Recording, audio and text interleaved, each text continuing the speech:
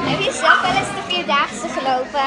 En niet de hele Vierdaagse. Ik heb denk ik tien jaar geleden één dag gelopen. Toen heb ik gekozen voor de derde dag. De dag eh, van vandaag. Omdat dat ook een beetje, eh, niet een beetje, dat is gewoon de zwaarste etappe. Want dan krijg je de heuvels. En dan heb ik in ieder geval een stoere etappe gedaan.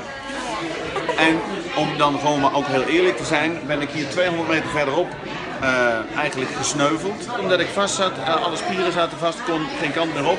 En toen hebben ze, hier tegenover was een, eh, een soort kraampje en die hadden allemaal magnetische ballen en, en zooltjes en dingen. En die hebben mij opgelapt. En toen heb ik op mijn tandvlees de laatste 10 kilometer gehaald. Dus ik vind het eigenlijk verbazingwekkend dat ik hier alleen de jongens en meiden zie. Die en twee dagen al in de benen hebben zitten.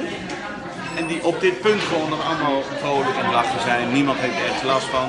Jullie ook niet, hebben ook geen blaren natuurlijk.